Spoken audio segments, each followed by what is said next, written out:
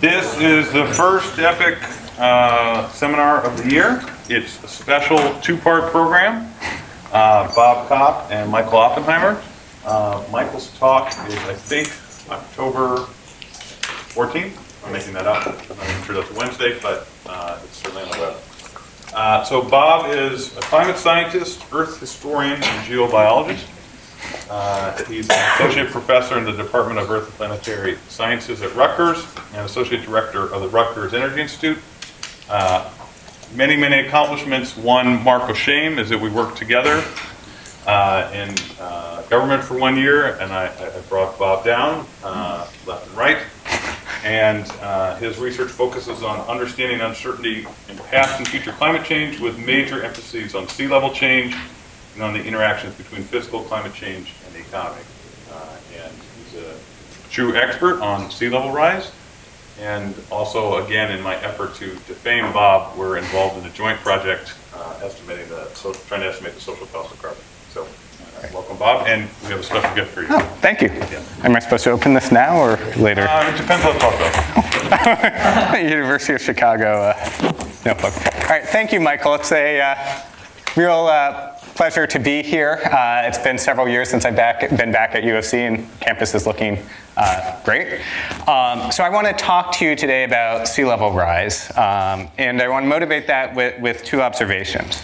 Um, so first, you know, sea level rise has, a, has an impact of climate change um, is of importance in and of itself. It's of importance because roughly 1 in 20 of the world's population lives within 6 meters vertically of sea level and so is exposed um, to flooding, uh, both as a result of sea level rise and of storm surge. But it's also sort of intellectually of interest um, has a model program, model problem for thinking about the impacts of climate change because compared to many climate change impacts, it's actually relatively simple, right? The dominant parameter is one single variable, sea level, that varies over space and time, um, but there's a degree to which the, the, the, uncertainties in this problem can sort of be unbounded, right? We know what the maximum possible sea level rise is. Uh, it's a lot, but there's a limit. Um, the effects of sea level rise being faster than we, we think it will be could be catastrophic, but it's still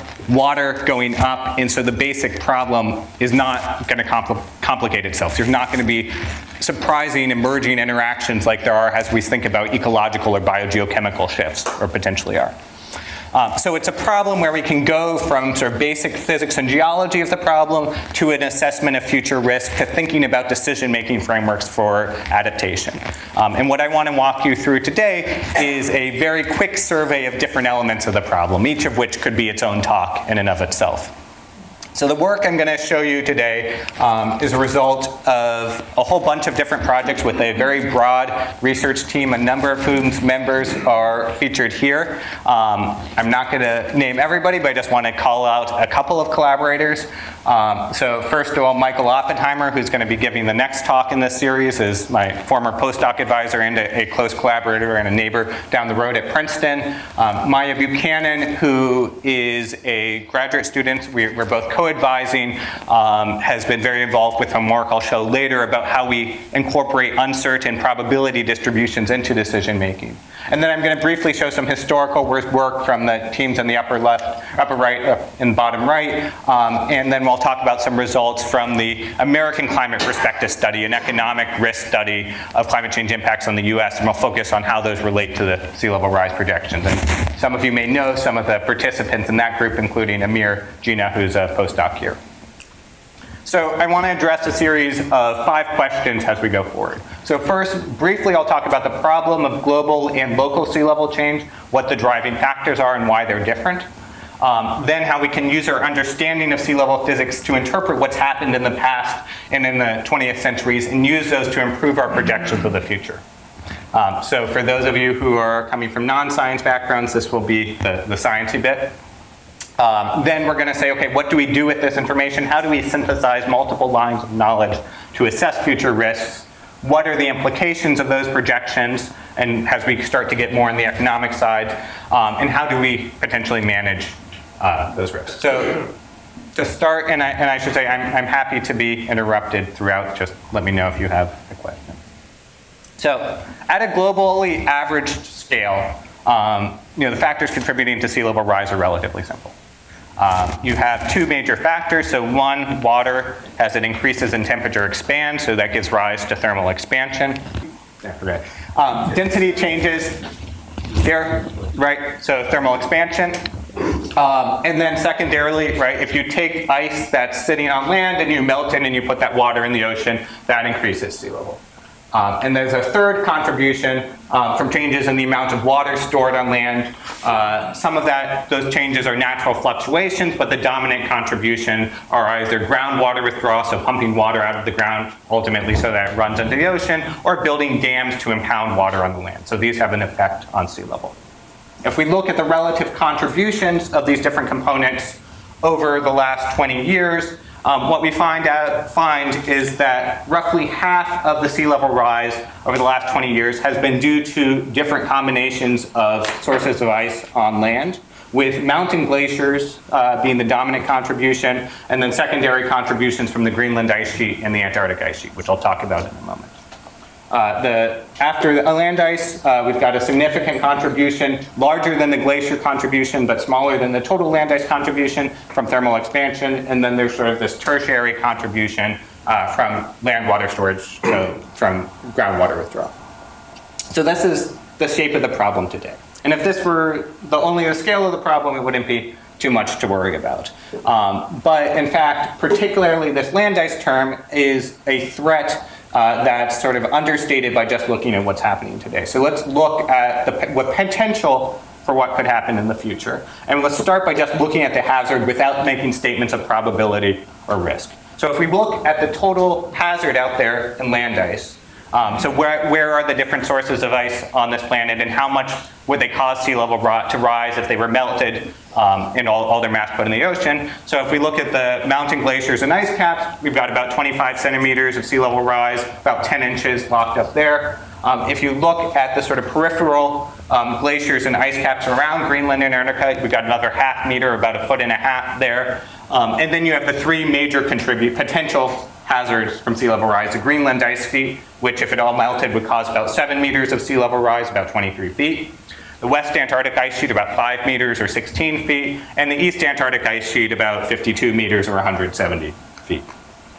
So those are just the ice there. We can assess uh, what's happening to these different ice reservoirs with a variety of techniques, one of the best of which in recent years um, involves measuring the change in Earth's gravitational field that happens as you take these concentrated masses of ice, uh, masses of mass, um, the concentrated ice masses, and distribute their mass throughout the ocean. So my colleagues down at Princeton are one of a number of groups that do this sort of work. Um, this is their analysis of the last decade of the Greenland ice sheet on the left and the Antarctic ice sheet on the right. Uh, and so you can see, particularly the Greenland ice sheet, there appears to be an acceleration. The average rate of loss is about 240 billion tons of ice a year. And just to give you a sense of scale, 240 billion tons of ice a year, you spread that over the ocean, that amounts to about 7 tenths of a millimeter per year of sea level rise. So when we're talking about mil just millimeters of sea level rise, these are immense masses of ice we're talking about. Antarctica, meanwhile, contributed about uh, 0.3 millimeters a year over the same time period. So that's the global picture. But nobody lives at the global mean, everybody lives somewhere, and so when we think about the impacts of climate change, we have to understand how these sort of globally average changes translate to the local level. And when we look at local sea level rise, there are a whole bunch of additional factors that come into play. So in addition to density change, we have the fact that the water in the ocean um, can be shifted around by currents and by winds. Um, so we'll talk about that more in a second. Uh, you have the fact that when you melt ice and when you move large masses of ice around on the planet, you do things like change the Earth's gravitational field, which we can use to measure um, the, the, amount of, of, ice loss, but also causes a, a, change in the shape of the Earth's gravitational field that's followed by the surface of the ocean and therefore causes uneven changes in sea level. Um, and we also have the fact that the land can move up and down as a result of a number of processes. So looking at those briefly in terms, so first, the dynamic effects. So this figure here is showing you the average height of the sea surface in the North Atlantic as measured by satellites from 1992 to 2002. Um, and the key thing you see here is this is the Gulf Stream, so the warm waters coming up from the Caribbean being carried towards Europe. And across the Gulf Stream, so basically um, sort of across Cape Hatteras, you have about, about a 60 centimeter, about a two uh, foot sea level rise um, gradient, or sea level gradient. So if you were to change the strength of the Gulf Stream, or where you were to change the position of the Gulf Stream, that would give you about two feet of additional sea level rise to play with. And if you look at how ocean models project changes in the response of the Gulf Stream and, and the overturning, Atlantic overturning circulation to warming, um, some of those would project for sort of the New York area as much as an additional um, 35 centimeters of sea level rise arising from changes in, in ocean dynamics. Then we get the mass effect. So again, I've already said these are large masses of ice. So let's think about mass for a second. So here you've got a planet. Imagine it has an ocean, no ice on it. Um, sorry. If we, yeah, should I do the punchline? Um, if we put an ice cube on the planet, obviously not to scale or ice sheet, right? That ice mass is going to draw the, the gravitational field of the planet to it. So building that ice sheet, so taking water out of the ocean to build a mass actually causes a sea level rise near the ice sheet and a sea level fall from the extraction of the mass far from it. So conversely, if you were to melt that ice sheet, you get a sea level fall near the ice sheet and a sea level rise farther from it. So if we look at the effects of the Greenland and West Antarctica here, all of these dark blue areas are areas that experience a sea level fall in response to a shrinking ice sheet. So if you're in Scotland and the Greenland ice sheet loses mass, you experience a sea level fall. If you're in New York and the Greenland ice sheet uh, shrinks, you experience about 40% of the sea level rise that you would if you were living at the global average. And if you live sort of down here in South America and the Greenland ice sheet shrinks, you experience about 20% more sea level rise than the global average. Conversely, if we look at the West Antarctic ice sheet, um, actually due to a bit more to effects that moving mass around has on the Earth's rotation, um, you get about 20% additional sea level rise off the coast of the US compared to the global average. So, you know, if we think about that five meter hazard uh, from West Antarctica for the global mean, that's about a six meter hazard um, here in the US. So finally, there's a bunch of other processes. We just mentioned one that's important for those of us on the coast of the US, um, is the ongoing response of the land to the fact that there used to be a giant ice sheet sitting on, in North America north, from New York City north.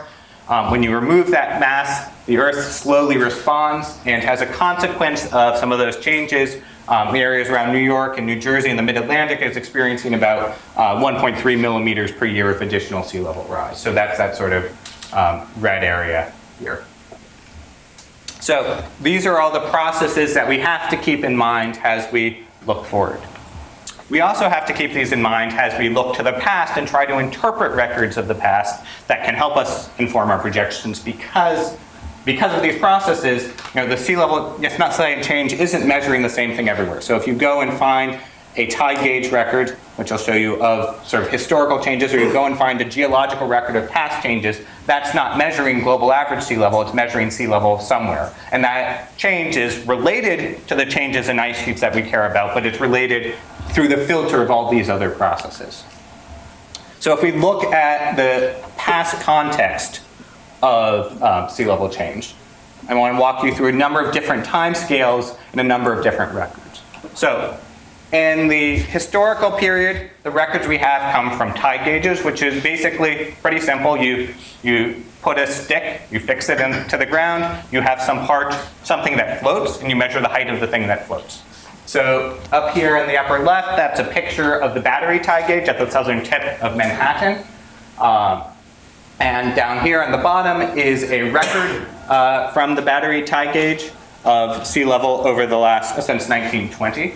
Um, and you can see both there's this long-term upward trend, and you can see these spikes, the, the, these extreme sea levels that are a result of um, storm surges. Uh, so you can see, for instance, Hurricane Donna here in 1960, and this record, the figure ended before 2008, but you can see where Superstorm Sandy would have been on this record. So we've got all of these records of local sea level change around the world. If we want to say something about thermal expansion or ice sheet response, we have to figure out how to get sort of a globally average signal out of all these local records. Uh, and this could be another talk. Um, for those of you who are statistically inclined, I'll just briefly say that there's a number of approaches that, that we use that are all essentially inspired by Bayesian analysis. And I can walk you through them with questions if you're interested. Here's the, the punchline of our analysis of tide gauges. Uh, so here we're looking at sea level, global mean sea level over time starting in 1900. Our group's analyses are these two curves here using our two different, um, similar but, but different um, Bayesian techniques. One is a Kalman smoother, the other is Gaussian process regression. Um, and then those other curves are um, two different uh, analyses by other groups that we, we would argue are, are somewhat less statistically robust. The result of our analysis is that from 1900 to 1990, um, so up until that point, global mean sea level rose at a rate of about 1.2 millimeters per year, or about half an inch per decade, and that over the last 20 years, there's been about a two and a half fold acceleration in the rate of sea level rise. That recent part um, is in agreement among all these different techniques. It's really the, the amount that's been um, earlier in the 20th century that, that is a source of disagreement. So that's what we can see for the 20th century. Yes? Uh, That seems to be a bit of a change to me. I thought the IPCC estimated about two millimeters historical rate and, a, and an increase of about 1.2 millimeters. Is that, is that a change from what, what they had done? So, so the IPCC, the, the, the uh, Church and White's results here, this one and, a, one and a half millimeters per year is more or less where the IPCC numbers Okay. were. Um, it may have been before the, I I haven't gone back and to remember what it said before the fifth assessment report. So the IPCC, for, for those of you who may not know, is the Intergovernmental Panel on Climate Change. That's the UN panel that sort of periodically assesses the literature. David? Do you think the sea level rise in the very first part of that record is natural? Um, let me give you some geological context. Uh, so, good question. Thank you for leading me to the next slide, which is this is what we can observe. We might be able to push the record a little farther back because the earliest tide gauges um, in northern Europe actually go back to the late 18th century. Um, but the quality, the, the, the spread of the record, geographic scope of the record sort of shrinks in volume to the point where in the 19th century you're only looking at the northern hemisphere with very few exceptions. Um, but we can go back further in time um, using geological proxies. And for the last 3,000 years, um, thanks to the work of, of groups like my colleague Ben Horton at Rutgers, there are actually quite good reconstructions of local sea level change um, that come from uh, proxies that uh, come from salt marshes. So here's a picture of a salt marsh in Newfoundland, uh, where Ben's team uh, was collecting samples. Uh, I think this was last summer. Uh, and so, just one example of the way um, sort of geologists think about this. So, what they're going to go do, or what they've done, is stick a core into the sediment, pull out this core, and then as they go through the core, like look at the assemblages of different types of microfossils, uh, particular types of microfossils called um, foraminifera. And different assemblages of fossils um, are associated with different parts of the tidal zone. So you can actually construct a, a probability distribution that says this particular assemblage gives you a probability, you know, this likelihood of being here in the in the um, in the tidal zone. And so you can see this and you can know where you are in the tidal zone. So if you then can get a, some way of determining how old those particular fossils are, which you can do with a variety of techniques, including on these age scales, carbon 14 dating. Um, you can look at pollution horizons and more recent stuff, um, and a number of other proxies. Um, you can start to construct this sort of sea level, local sea level record that can give you sort of 10 centimeter or so resolution and sort of few decades scale temporally. So we can compile these sorts of records and other lower resolution records from around the world. Um, we can build a statistical model that separates out the contributions from local changes and global mean changes and pull out a global mean sea level curve. And so this uh, is our uh, currently in review, so subject to change, um, global sea level curve for the last 2,500 years. Uh, and we, sorry, we can see a number of uh, features here. So first of all, there has been variability over the common era. It's roughly plus or minus uh, 12 centimeters, or about plus or minus 5 inches. Um, the most noticeable signal here is a decline in, uh, from around 800 years, the Common Era, to around 1400 Common Era, which turns out to be correlated with the decline in global mean temperature that's roughly 0.2 to 0.3 degrees Celsius, so roughly half a degree Fahrenheit. Uh, so we see that these, this historical variability, and we also see this increase in the 20th century that we saw also in the tide gauge record, um, and we can conclude with 95% probability that this increase was faster than any increase in the previous 26 centuries. So some geological context, yes? Oh, that slide you had earlier with the uh, proportion of sea level rise that's due to thermal expansion and ice change. This variability was that like thermal expansion or ice sheets or Good question. Um, so we don't really know. Um, we've done some preliminary analysis using, say, these fingerprint effects that I, the, the, the, the, I uh, showed you earlier. Um, and actually, Greenland, it seems like Greenland ice sheet is actually not varying in sync with global mean sea level. It's, it's varying more in sync with European temperatures, which are doing something a little weird and a little delayed. Whoa, what did I do there? a little weird and a little delayed um, relative to, to global temperature. Um, so, so those of you who have been to historical talks about the Little Ice Age, if you're talking about the European Little Ice Age, that's something that starts around 1400 CE. Um, and Greenland seems to vary with that. Um, this magnitude of change could be due entirely to thermal expansion, is probably, and my, my guess would be, is due to a combination of thermal expansion and mountain glaciers. Uh, yeah. just for the novices, at, at 700 and 1,000, what happened there, and is that due to the change in the sun or something, or? Uh, so, so the little blips. Yeah, the, the blips that are bigger than today's blip, yeah. Uh, so the this is this signal or like this these things. It's 700 years and a 1,000 years? 700 years and a 1,000 years. Um, so nothing, in, so, so what you should be looking for is a relationship between rate of change and temperature as opposed to absolute height, I would say, in this figure. Um, I would also not draw um, too much conclusion from absolute height simply because if you think we, we have this network of global sites, um, there's never going to be a way you could exclude the possibility that there's some constant linear trend that we're recording in all those sites that might be due to, say, tectonics or some other effect that's of the scale of like a tenth of a millimeter per year or less. And so, you know, you can rotate this curve. And so, so the rates, then the change in rates give you something that's more robust than, than, the, than the heights. Okay. So, oh, I lost my, um, sorry, uh, for whoever was paying attention to that. Um, so, this, we can step back, well, that makes a big difference. Um, we can step back uh, one more scale in time um, and ask, okay, so this is what's happened over the last 3,000 years. Um, what's happened in other periods in Earth history, um, periods when temperature might have been slightly higher than today.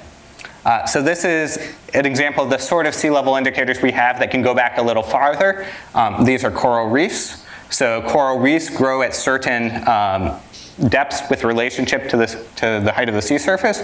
Um, this is a particular, dominated by a particular species of reef known as Acropora palmata that lives with between about zero and five meters uh, below sea level. So when we find it about two meters above current sea level, that tells us that sea level at, that, at the time this formed must have been about two to seven meters um, higher than it is today. So this is an example from San Salvador in the Bahamas, which happens to have been, although this is not my, my photo, where um, I went on a field, one of my first geology field trips as an undergraduate here um, back in 2001. So last interglacial period of around 125,000 years ago. This is of interest because while it's hard, for the same reason that it's hard to reconstruct global mean sea level to say exactly what global mean temperature was doing during this time period, it seems to have been slightly warmer than today. So this is another group's um, reconstruction, um, but find um, estimates of, about- of land temperature about 1.7 degrees Celsius warmer than pre-industrial, which would be about um, 0.9 degrees warmer than today, um, and ocean temperatures um, and land ocean temperatures that are very slightly higher than today. So we can maybe use this as an indicator of the long-term response of sea level to roughly 1 to 2 degrees C of warming above um, pre-industrial levels are about uh, 0.2 to 1.2 degrees warming above today. So what was sea level during, during this time period? Um, we can, again, using Bayesian techniques, assemble a global database, try to pull out the global signal. Um, in this case, we have throw into mix not just um, uh, not, not just uh, the records, but also the, the uh, physical model of those processes that I showed you earlier. Um, and these are, this is the curve that we come up with. This is time uh, going from 135,000 years ago to 110,000 years ago. Um, for those of you who are not geologists, geologists often plot time backwards on axes, so time is flowing from right to left.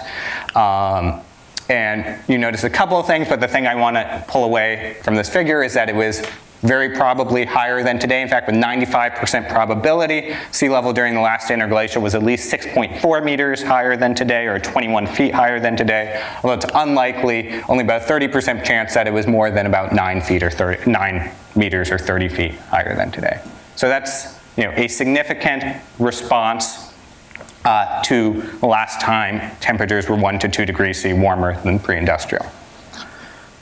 So what would that mean if we had six meters of sea level rise? This is an analysis uh, from Climate Central, just looking, this is a figure I mentioned earlier in the talk, looking at that population that's within six meters, um, and you can see where it's distributed at the you know, large number, not surprisingly, in China, large number, um, so this is, a, this is in the range of around 80 million, this is in the range of around 30 million in the US, and overall, you know, six meters of sea level rise would cause the loss of areas currently home to about 380 million people, but that's, again, largely a hazard statement.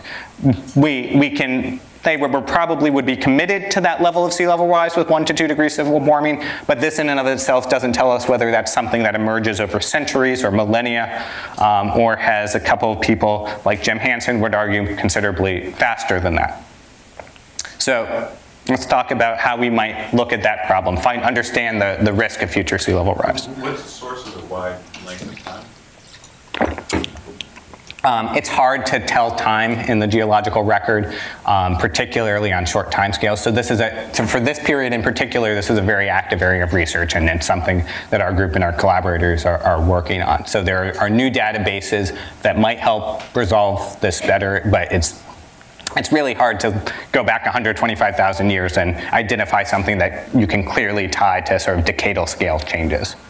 And do people use models or they just use these empirical histories? Um, you, you predominantly are using, trying to look for data in the field. You probably wouldn't necessarily believe a model just based on, on this. Um, so there's some arguments that the, the you might have had that these jumps might have taken place on a couple century timescales based on different interpretations of fossils, but it's nothing that I would regard as, as quantitative.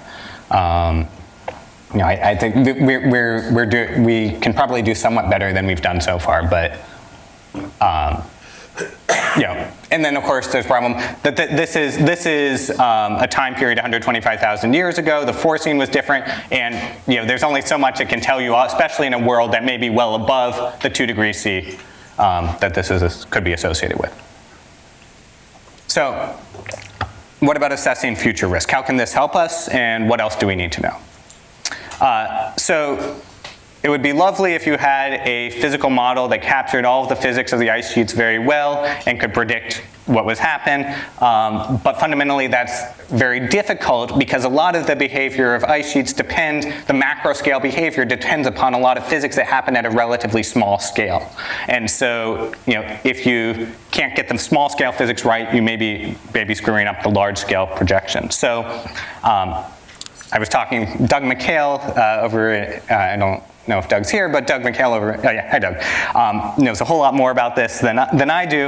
Um, but just one example of this that I, that I, I like to show, right? So This was the Larsen B ice shelf in January 2002. Now, ice shelf is floating ice, so if it melts, it doesn't contribute to global mean sea level, but it has a buttressing effect on the adjacent ice sheet. So if the ice shelf were to say suddenly disappear, um, you know, that could have a significant amount of uh, effect on the flow of the ice sheet into the ocean. Um, so if we just look over the course of February 2002, um, and notice this is a, a 40 kilometer scale bar down here, right? We went middle of February, later in February, and by early March, right, that entire 40 kilometer ice shelf did disappear. So if this is playing an important role in the physics and you don't have a model because you know maybe Doug hasn't solved the problem yet that can, can predict this, then you're going to have problems when you go up to a higher scale. So this is an area that's very active research. Um, there's a long list of interesting topics under research by the community, um, starting with one that you may have heard about, this marine ice sheet instability. So if you, you can actually get this sort of positive or vicious cycle um, where you know, sort of you have uh, the bed underneath the ice sheet sloped in such a way so that as you has warm waters eat away at the ice sheet, it exposes a larger area to be eaten away at, and so you get this sort of positive feedback loop. Um, uh, and there's been some evidence um, from Eric Rignot's group that this process may have started already in parts of, of West Antarctica, um, but the time scale it would take to completion is still something we don't really know. Um, another interesting example, um, you know, if you look at a lot of ice sheet models for Antarctica, they would predict something on the order of, say, 10 centimeters of contribution to sea level over the 21st century. Um, but Rob DeConto's group at Amherst discovered that if you put into one of these models um, some of the, you know, the, the fact that you know, if you develop cliffs uh, where, the, where you have this intersection um, with the ice sheet and they become unstable, suddenly instead of 20 centimeters, you can get a meter. Right? So you get the point to take away from that is not the number, it's that there's first order physics that have yet to be incorporated into these models. And the key point for our talk is that that means we need to look somewhere else to get our sea level rise projections. So one approach people have used is what those of you in the Booth School might think about as an econometric approach, right? So you've got a sea level curve, which I showed you. Um, we have a couple of reconstructions of temperature um, down here. And so can we find a statistical model that relates uh, the sea level to temperature? This is called a semi-empirical model in the sea level community, and you can build one, and we've built one. Um, and uh, what we find um, is that if we build a statistical model, uh, then I can get into those assumptions that underlie that if people want. Um, we find that under a high emission scenario, um, we would project a, like, a very likely increase of about 20 inches to 48 inches over the course of the 21st century. Um, in a very low emission scenario, 10 to 24 inches. Um, so at this point, I just want to pause and introduce a little bit of community for, of, of, terminology for those of you who aren't familiar with it. So we're talking about RCP. Those are representative concentration pathways. So these are sort of standardized scenarios that the climate modeling and integrated assessment modeling community have developed um, to feed into climate models. So RCP 8.5, you can think of that as sort of continued fossil fuel intensive growth leading to carbon dioxide concentrations around 900 40 parts per million by the end of the century. And RCP 2.6 is a very low emissions one in which carbon dioxide emissions are brought to zero around 2080 and peak carbon dioxide concentrations peak around 440 parts per million. Okay, so let's keep these two numbers in mind. What are we getting one or two parts per million per year right now? Uh, yeah, about two parts per million. Yeah, So four, and we're at 400, so it's 20 more years?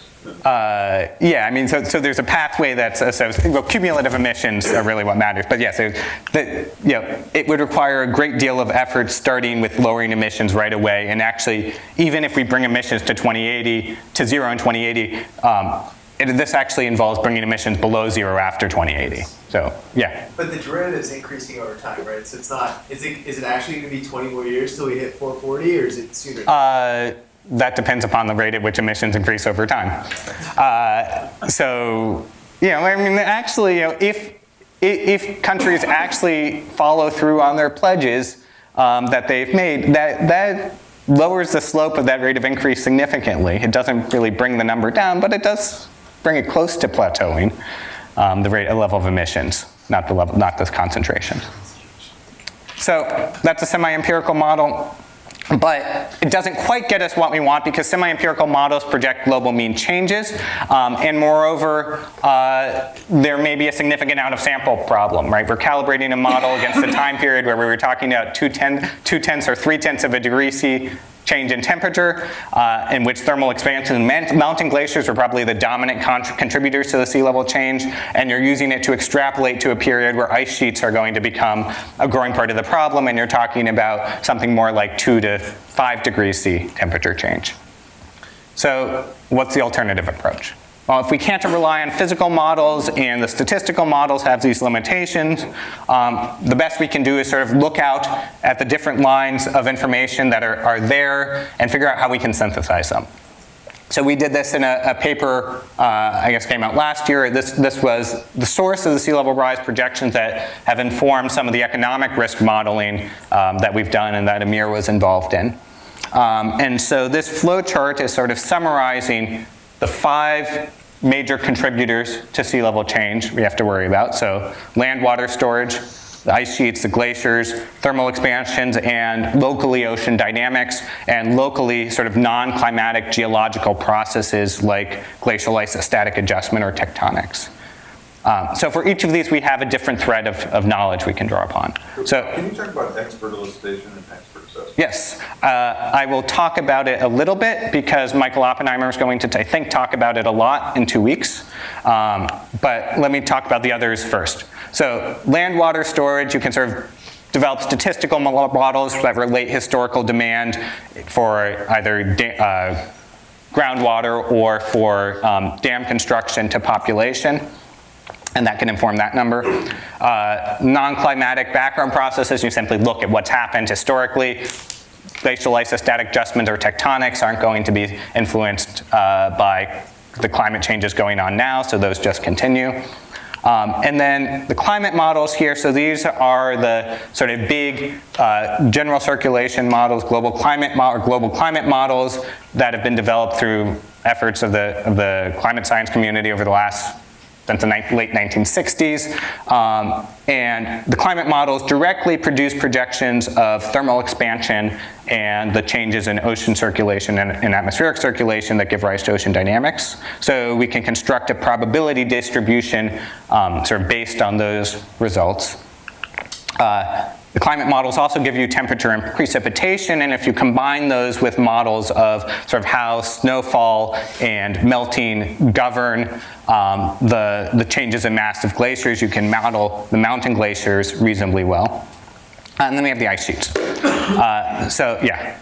So can I just ask, um, uh, the, the coupling between ice sheets and ocean dynamics?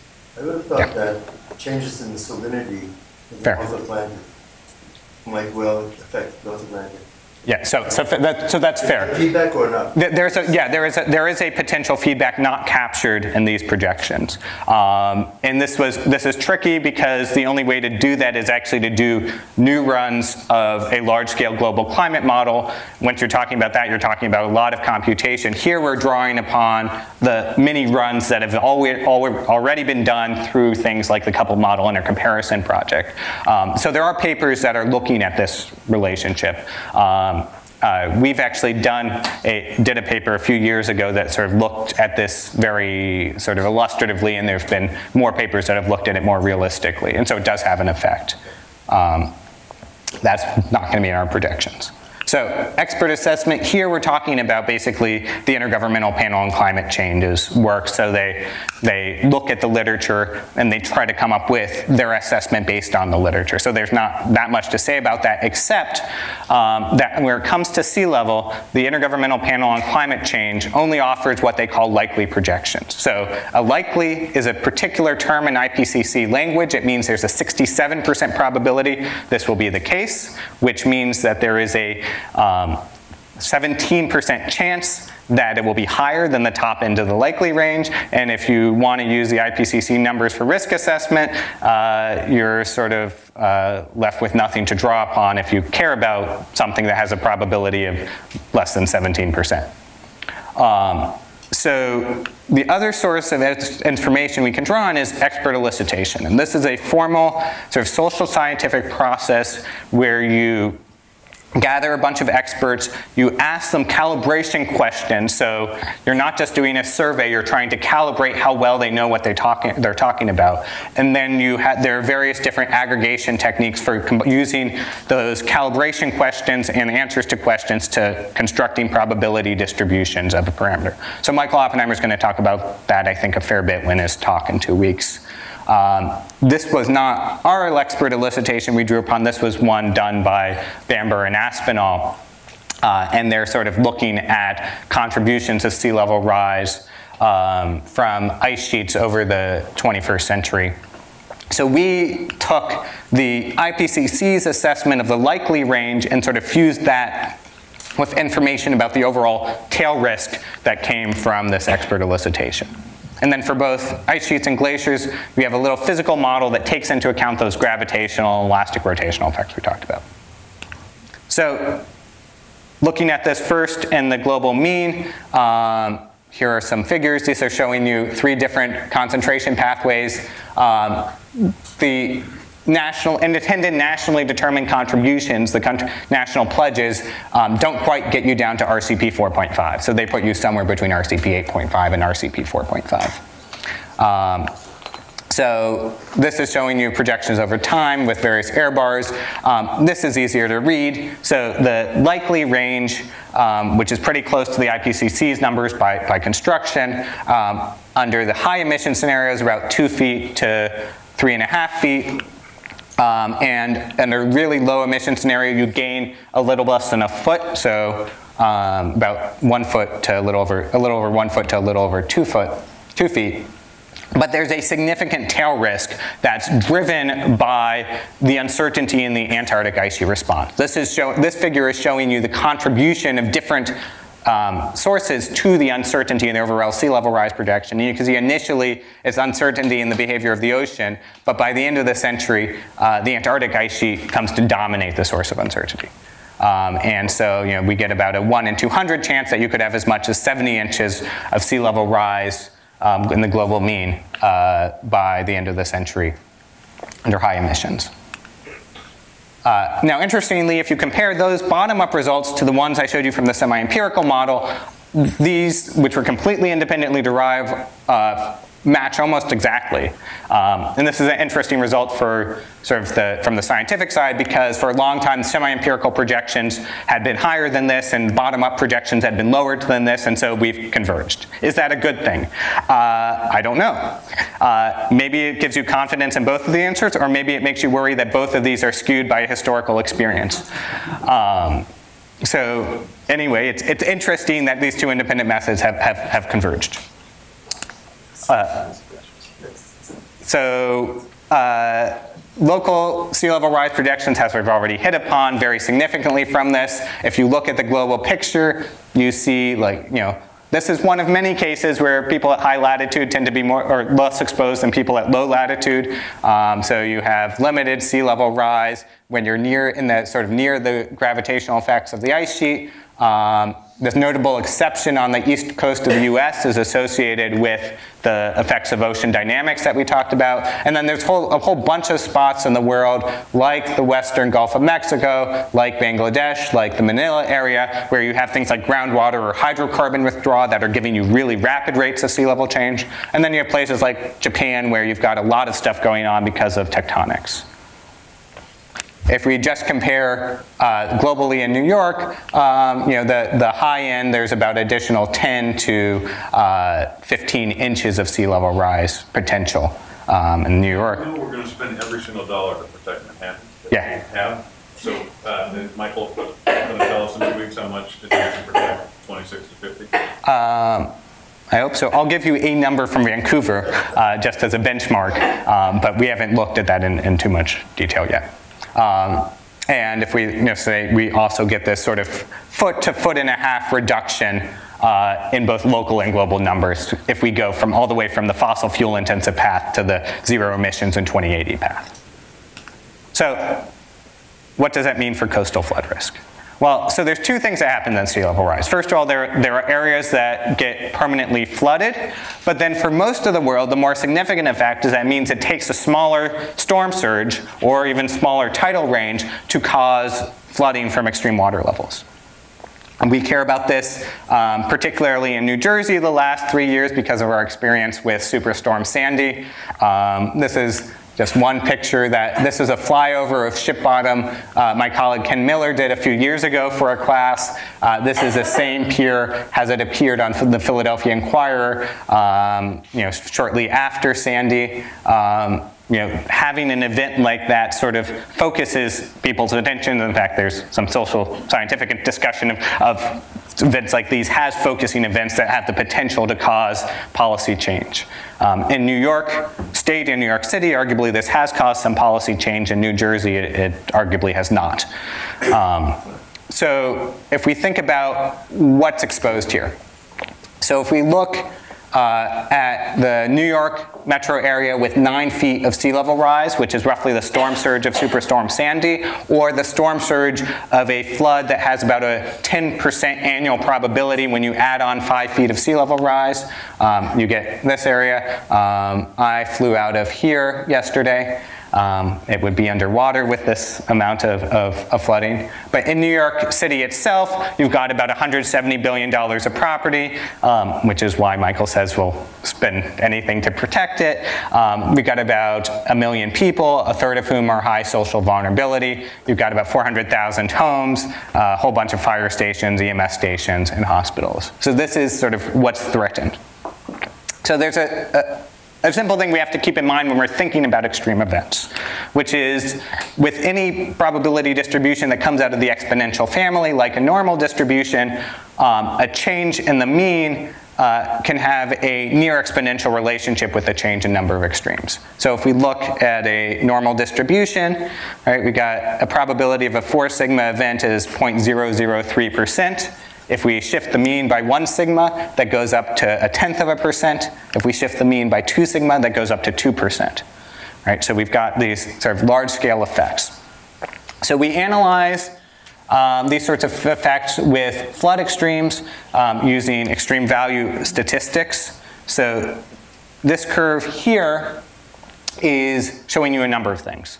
So on the y-axis, this is the expected number of floods per year. So 0.1 means we have a 10% average annual probability flood, what would be colloquially called a 1 in 10 year event. Uh, 0.01 would be the colloquial 1 in a 100 year event.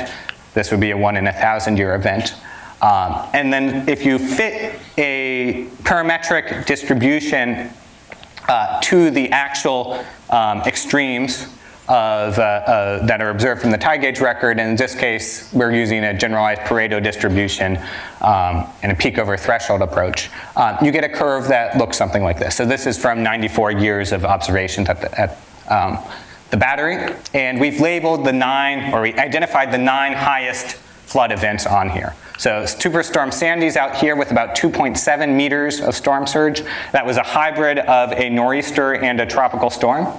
Um, Hurricane Donna was number two. Then the December 92 nor'easter here, about a one in uh, 30 year event. Um, we've got a bunch of, of hurricanes and nor'easters. Um, here's Hurricane Gloria, number nine. So one important thing to keep in mind is that there's a lot of literature focused on potential changes in the distribution of tropical cyclones or hurricanes um, which could change the shape of this curve. Um, there's been less work on the effects on extratropical cyclones or nor'easters, but in the US Northeast, both of these are significant contributors to flood risk.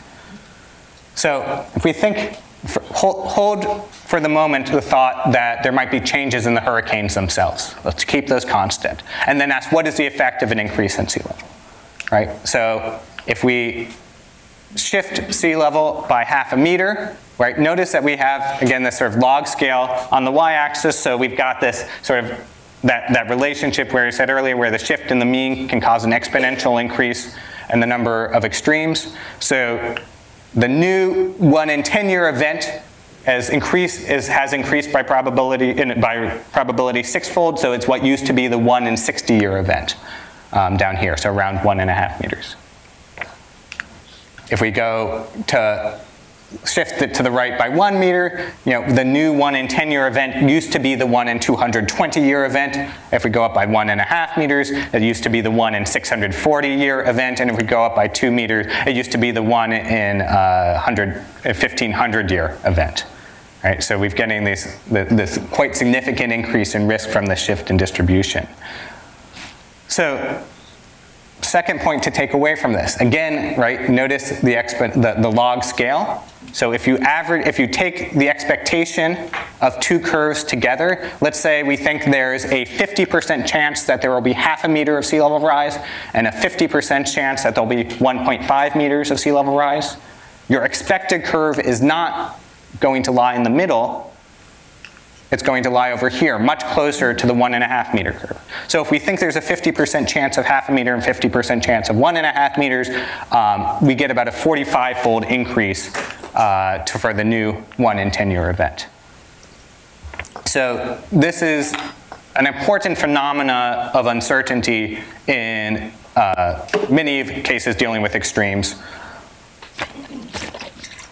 Uh, that the tail, the, the, high, a small, the, small, the high-end tail of possible outcomes exerts a pull on your expectation about what's going to happen with the extremes. So we can define, um, and this is work our, my grad student Maya Buchanan has done, we can define um, something called a sea level rise allowance which is basically saying how much margin do you need to build in, let's say how high your seawall do you need to build or, or whatever uh, measure do you want to take to protect your property or your investment if you want to keep your current level of flood risk. So let's say you currently accept, find acceptable um, to have a 1 in 10 year, a 1 in a 10% annual probability of flooding. More likely, um, in the US we typically use like a 1 in 100 year probability for flood insurance, but it doesn't change too much, um, right? So sea level rise allowance is going to tell you how much you would shift, uh, that you shift the distribution to maintain your constant risk of flooding. Uh, so in this case, we're going from around one meter to around 2.2 meters, so you would have about 1.2 meter allowance. Yeah? Is that number just equal to the mean increase in sea level? No, it's not. Um, and I took out the slide that would show you that, although if we, I can put it back in in questions. Um, no, it's importantly not, and it's importantly not because of this log scale over here. Okay. Right, because, well, we can, no, we can see it just here, right? What is the mean increase in sea level under this, under this scenario, right? It's one meter, right? This is a one meter curve, right? So you've got the pull of the tail caused by this log linear relationship. Okay. So when we think about how much we want to allow for sea level rise, there's a bunch of factors that go into account. So one is the acceptable risk of flooding, um, how much that matters for your allowance um, depends upon the shape of this curve. Um, it's not actually a huge factor. Um, but what is a huge factor is your time frame. Right? Do you care instantaneously about allowance? That is, you want your risk in 2050 to be the same as it is today. You might want that if, say, you're thinking about something, a project, and it's something that you think might go on indefinitely, so you don't have a fixed time horizon for it. Or is it a project where, say, you're building a house and you expect it to be there for 30 years, or you're building a bridge and you expect it to be there for 80 years, and you want to have over the lifetime of that bridge or that house a 1% average probability of flooding right? So we can define these as sort of a metric that's integrated over the lifetime of your decision. One question you might ask is, well, what is the relevant time frame? And I think one thing, particularly if you're thinking at a planning scale, is that the relevant time frame is probably longer than you think it is. Uh, so one anecdotal example of this, um, the Marion Power Station in Jersey City, New Jersey, shown here. This was built by the Public Service Electric Company in 1905. This was Edison's company. Um, it was retired as a generating station in 1961. It was succeeded by a new generating station, the Hudson Generating Station.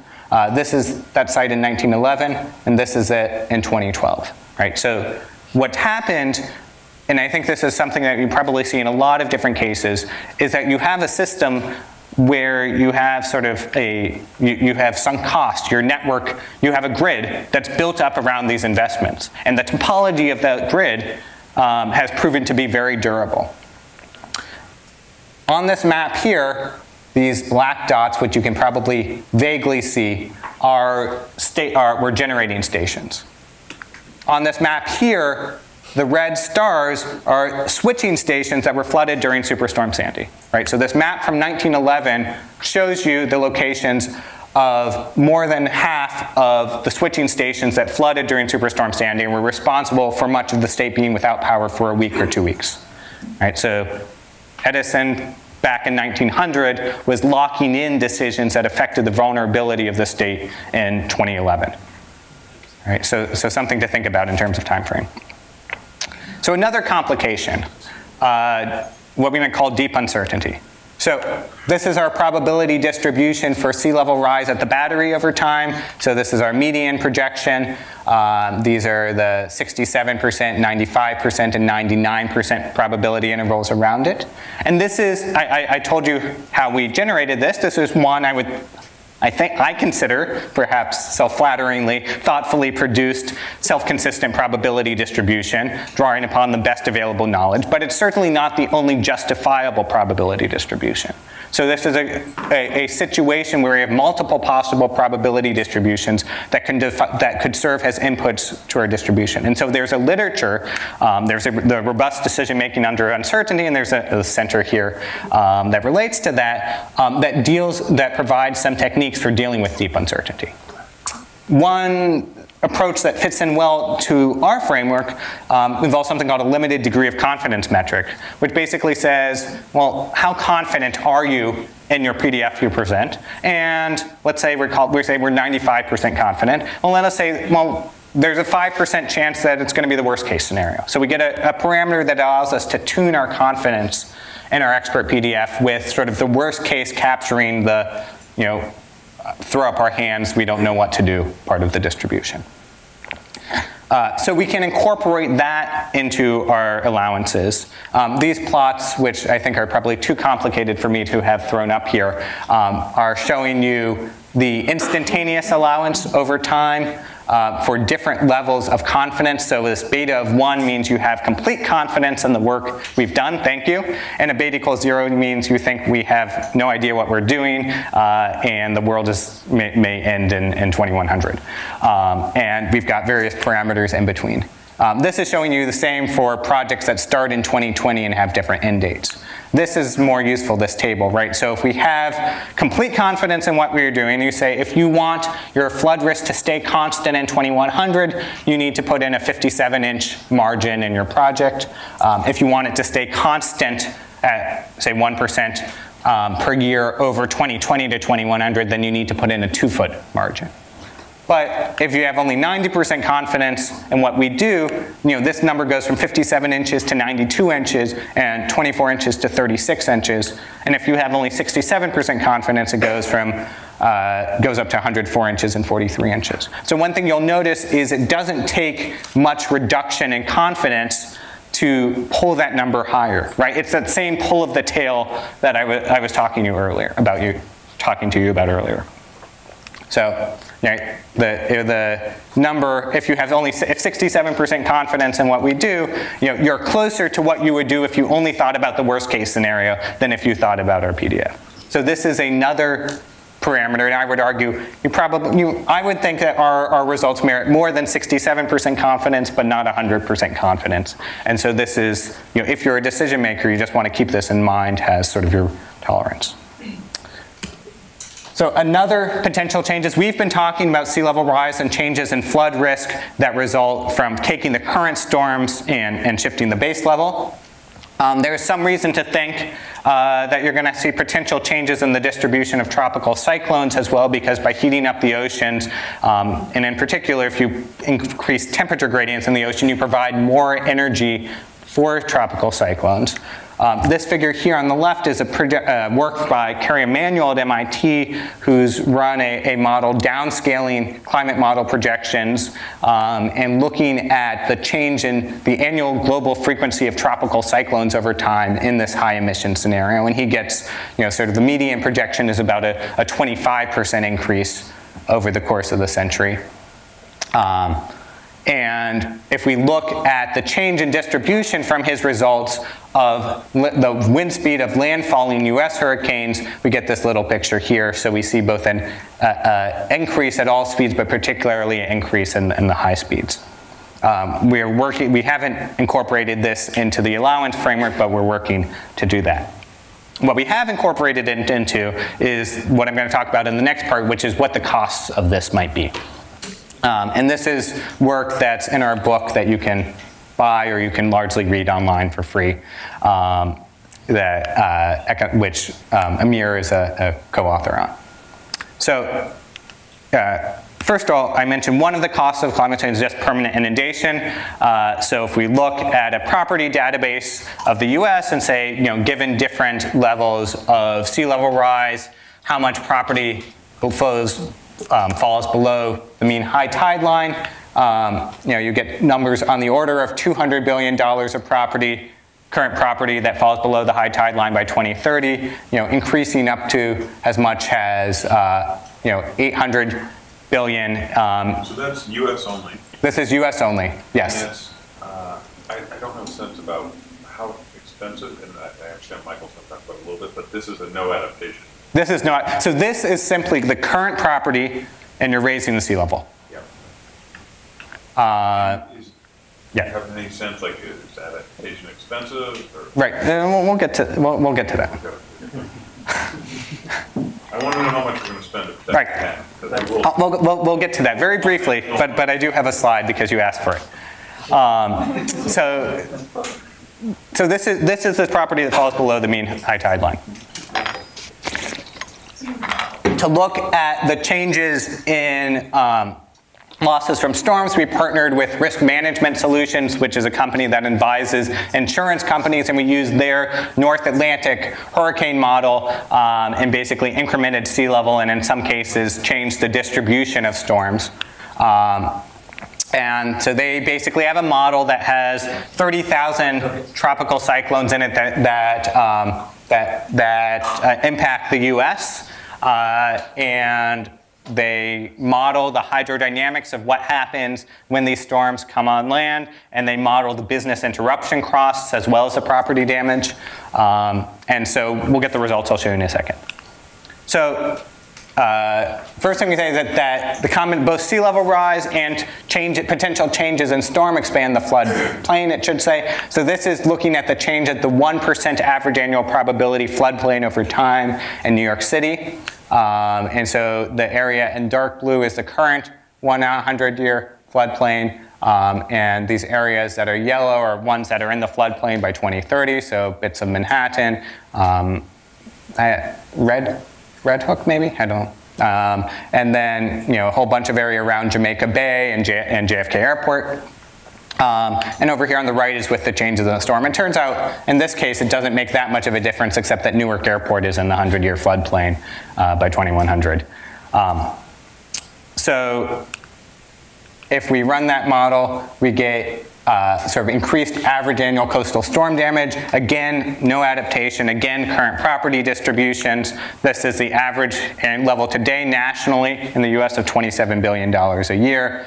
Um, this is the increase over time, only accounting for the effect of sea level rise. So basically, uh, you know, under a high emission scenario, you're talking about a doubling or maybe as much as a tripling.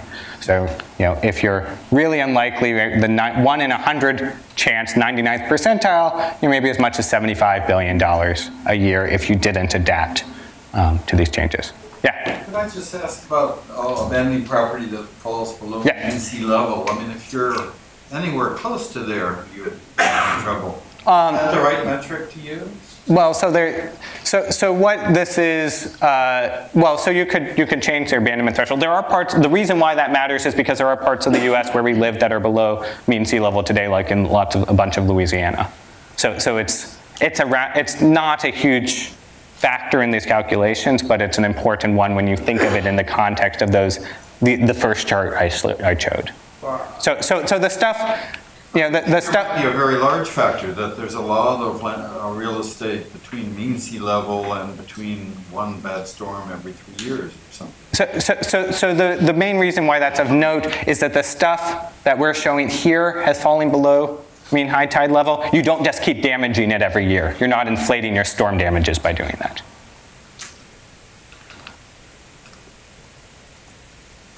As with so many things, this is an unevenly distributed impact with the US Mid-Atlantic sort of suffering the greatest percentage increase in damages. Um, this is 2050, um, and we see in New Jersey sort of a median projection of about a doubling of average annual storm damage. These changes as in everything, are driven by changes in the extremes, right? So if we look now another return period figure, this is the expected number of events, except now we're looking at billions of dollars instead of um, instead of, of height. Um, this is New York City. This is Superstorm Sandy was around 18 billion dollars to New York City alone. Um, and if we look at the probability, you know, so 50 centimeters of sea level rise gives you about a 50% increase in the probability of a superstorm Sandy event. A meter gives you about a doubling. Uh, a meter and a half gives you about a five-fold increase, and a, two meters gives you about a 10-fold increase in the probability of a superstorm Sandy scale damage event. Um, we can also look at what the effects of changes in storm intensity are, and we can see that that's of comparable scale. So factoring in some of these projected changes and, in storms gives you about a, a, a, doubling to maybe as much of a tripling by the end of the century of, of that damage just from the increase in sea level rise alone. So what do we do? So we can do an illustrative experiment to say, let's suppose we build a magical protection that excludes all storms where the surge doesn't rise above a certain height. Um, so this is the experiment we've done here. Uh, um, importantly, in this model, the, the, model already assumes that there's some protection existing today. Um, and so what we're looking at here is the protection height, and then this is the expected additional losses per year relative to no sea level rise and no additional protection. Right, and so the different curves are looking at the average annual damage integrated over 2020 to 2030 and 2020 to 2040 and so forth up to 2020 to 2100. So how much, you know, if you wanted to keep your level of damages uh, today um, constant, or level of damages, average annual damages constant, how much protection do you need to build? So if you care to 2030, you would need to build to about 2.8 meters, um, and that's above a current level of about 2 meters. And this is New York State. It's going to be pretty similar for New York City. Um, we just did the analysis at a state level. If you care to 2100, you would need to build to about 4.5 meters or about um, 2.5 meters above the current protection level. Now, how much does that cost? Uh, my uh, Rachel Desculio, who's an undergraduate working with me, just pulled this out as a reference point, um, has a well-documented example. So Van Metro Vancouver's been thinking about protection. Um, they have a defense strategy that's focused on shoring up current defenses and building new flood defenses, and they're going towards a one meter protection level.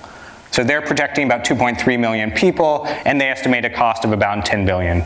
So this is your reference point. Let's say, assuming it scales with population, let's call that $50 billion per meter in New York City. So maybe this two and a half meter projection, I would roughly guesstimate something in the range of 120, 150 billion dollars. That Order, very crude order of magnitude, something we're looking at more. Doesn't it depend more on the geography? Yes, it does. Population?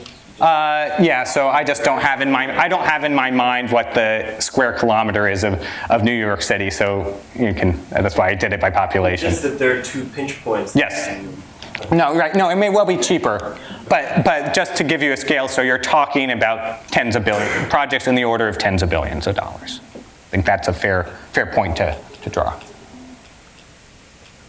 Um, so just to conclude with some very light speculation, what do we, you know, what do we do about this? Well, one option we have is to rebuild unchanged and assume uh, the rest of the country will continue to subsidize indefinitely the flood losses. This is more or less the approach that's been taken in New Jersey.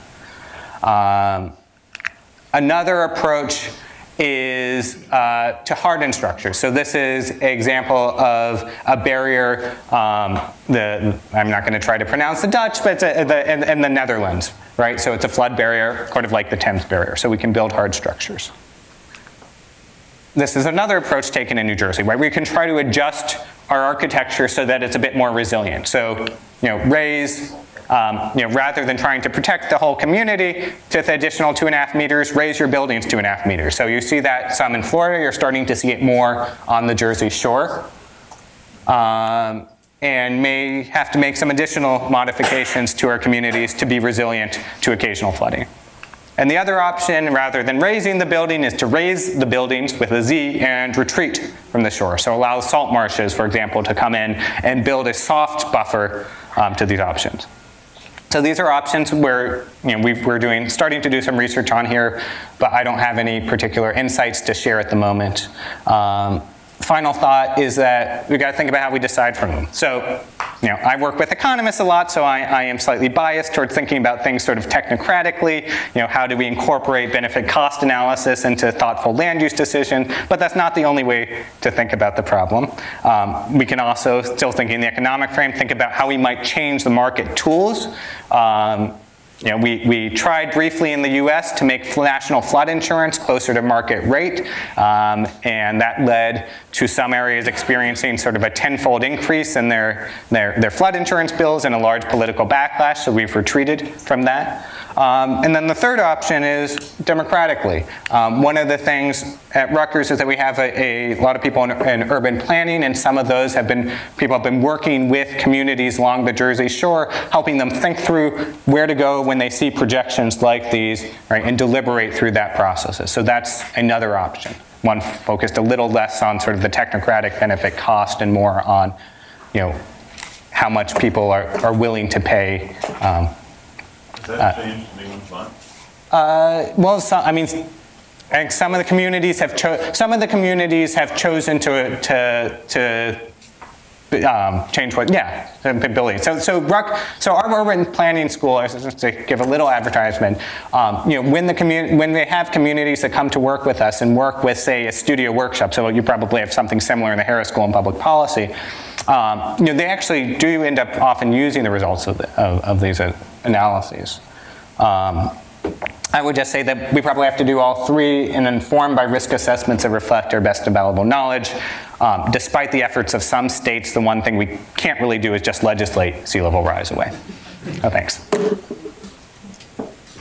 So to, to, to your knowledge, uh, you think the flood insurance, current flood insurance are not, do not reflect what you no, flood, flood, insurance is nowhere near market rate. I mean, the reason why the National Flood Insurance Program exists is because market, you know, market-based insurers aren't willing to, to insure the area, you know, the, the, a lot of these shore areas.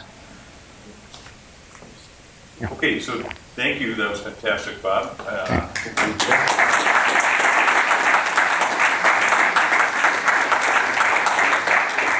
might be questions. Yeah.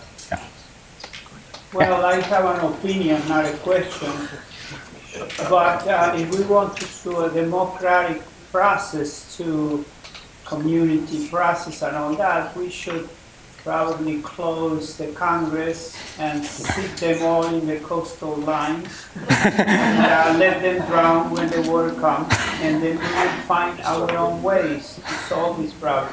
Because counting on these uh, institutions that have uh, tried to give them enough uh, road to hang themselves uh, is not going to work. So, so I am not going to respond directly to your opinion. Um, just, just, to, just to say, um, you know, in you know, one of the issues, and this is even more extreme in a state like New Jersey, where we have home rule. These decisions often are not federal issues. Decisions about flood insurance are, are, are certainly federal, um, but in New Jersey we have 180 coastal communities, each of which, coastal municipalities, each of which have their own land use policy. Um, we don't have very much leadership from the state, which could provide some, some common ground, so you've sort of got 180 different chances to experiment uh, with this in a disorganized fashion. Um, so in this case, it really, you know, the, the, the, governing tools or land use tools largely are at a, a sub-federal, well, are completely at a sub-federal level and often at a sub-state level. Yeah. I have a question, I don't really know how to formulate it, but the results of, of flooding uh, are not sort of continuous. There can be some very bad cases. I Mm-hmm. actually live on a harbor with a, a dunes that keeps us from the sea. It doesn't take much to overwhelm the dunes, and then everything changes. It's, it's sort of catastrophic rather than Yeah. continuous. To what extent are the effects uh, and the costs? uh, And similarly in New York City, I can imagine one storm that overcomes a barrier floods all the subways, all the basements and the electrical outfits of buildings. And so this is an outlier on the tail of cost and effect and such. How does that get factored? Yeah, so, so this is a phenomenon that arises a lot when we have, we think about extreme value problems. If you have a fat tail, as you often have in the case of the storms, um, you don't even, you, you know, they, you're, you're, if it's sufficiently fat, it doesn't even make sense to provide averages because they become unstable. And so it is just the most recent storm that drives the damages. So that's actually arguably the case with the flood insurance program, which was roughly in balance until Katrina, and then has been totally out of, out of fiscal balance since Katrina because its entire budget sheet is dominated by Katrina and Sandy. So, so that's absolute, absolutely a crazy. Um, Roger Cooke at, Resources for the Future has been doing some work looking at the, um, with Carolyn Kousky, looking at sort of the fatness of the tail of damages. And they actually find some evidence that that fatness is increasing, maybe with some contribution from sea level rise or climate change, but also with the increasing concentration of the population in high vulnerability areas. I just want to add that it's often those events that govern policy, which then govern Yeah, cost. abs- absolutely.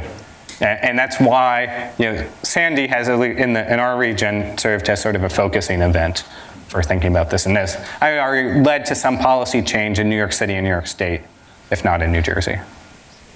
Yeah.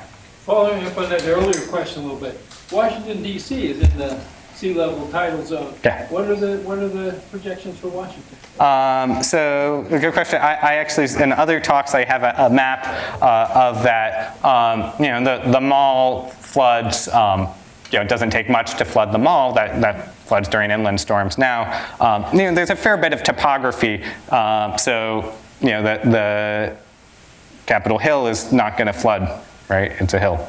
Um, so, uh, you know, it's a, so it, it um, you know, so, so it's, a, it's, there's a flood zone there, but it's large. You know, it's, a lot of it is concentrating around the mall. It's also a pretty complicated modeling problem with kind of a weird extreme value distribution because it's pretty far from the ocean. It's just up the Potomac, and so you've got the combination of, of sort of tidal flooding and um, storm-driven flooding coming in from the coast, and also inland flooding driven by precipitation. Storm surge come up with the. Oh yeah, yes, it absolutely can. It, it's just that the, it's a, it's it's a it's a non-trivial problem because you've got multiple directions you can get flooded from. Yeah. So I think the lesson I would take away from your talk is that storms are coming. It's going to gradually get worse over 100 years, maybe much worse. But what I didn't get from your talk really was what I'd call resilience. That is, so if I have a dollar in my pocket, and I do like Washington having that dollar actually, because I don't want a thousand different things, then where do you spend the dollar? Do you raise all the power plants by 10 meters? Do you uh, abandon New Orleans? I mean, what do you actually do in a macro society to just make sure it all continues to work? Uh, those are good questions. Um, they're part of Maya Buchanan's thesis that she will be working on. Um, I think my, uh, you know I, I have shied away from getting too far into, ad- into the adaptation side because I think that's going to be the focus of Michael Oppenheimer's talk in two weeks. Um, so you should come in two weeks. yeah. Windier. Windier is a global warming and sea level rise in general. Uh, sea level rise shouldn't affect winds. Um, that's an inter- yeah, that's a. I, I don't think we have evidence of an increase in winds. You, you might expect it if you saw an increase in thermal gradients. Um, so I'm going to speculate probably not, because in fact what we see is a decrease uh, globally in, in temperature gradient because the poles warm faster than lower latitudes. So decreasing that might actually um, decrease winds, but I'm completely speculating here. So I have no idea. Yeah. Other questions? David. So, uh, correct me if, I, if I'm wrong, but my impression of the, the literature from uh, Heinrich events, uh, which are uh, events of rapid sea level rise Yeah. during the ice age, are that the sea level rise during those was much higher than anything you can explain by, you know, anything we see going on today or anything our models can really uh, explain. So you know, if I were a betting person, I would think that the sea level rise at the end of the century would be much more than, than is predicted based on these things in the past. Do you think that's wrong? Um, I think my, my, my- my beta value is definitely not one. So I think our, our PDFs are conservative. And part of the reason they're conservative is they were intentionally constructed to agree in the central part of the distribution with the IPCC. Um, you know, Heinrich events happened at a time when you had the a big ice sheet in North America. So I don't know how much we can extrapolate from them. Um, but yeah, certainly there are examples in the recent geological past of periods when you have four meters a century of sea level rise. Um, but those did happen when you know, there was still a large ice sheet in North America um, and much more ice on the planet overall. So um, yeah, so, so I, I wouldn't advocate for, for saying I ha it's, it, the worst case scenario is the most likely, but I would advocate, like, you know, the reason why I bring up these decision making under deep uncertainty issues is that I do think this is a, a question where we don't know, we certainly don't know the true PDF. We know a very reasonable and justifiable PDF, but that PDF could be, could be wrong. And we should build that into our decisions. Um, most of the times when I hear people talk about climate change in ocean chemistry, it has to do with pH from increased carbon. If you're putting this much more water in the oceans, uh, are there other important changes in the ocean's chemistry? So it's a lot of water in terms of mass, but remember the, the oceans average a little over 2,000 meters deep, and so you're talking about a you know one in 2,000 change in the amount of water in the ocean. Is there any Yeah. David, David, David, hold on, David wants to, David, who, who knows a whole lot more about pH, pH changes than I do and taught me most of what I know. Well, I was going to say that uh, the uh, feedback that Hansen is pointing to, which uh, Oh, was yeah. in line your list, was that if you dump a lot of fresh water Yeah. into the ocean from an ice sheet, it stratifies the water near the ice sheet, Yeah. making it colder at the surface but warmer at the Bottom, grounding right. line. And this could be a positive yeah. feedback that could explain the Heinrich events Yeah. and also would uh, predict much higher sea level rates for our century. Sure, In terms of pH and active, yeah.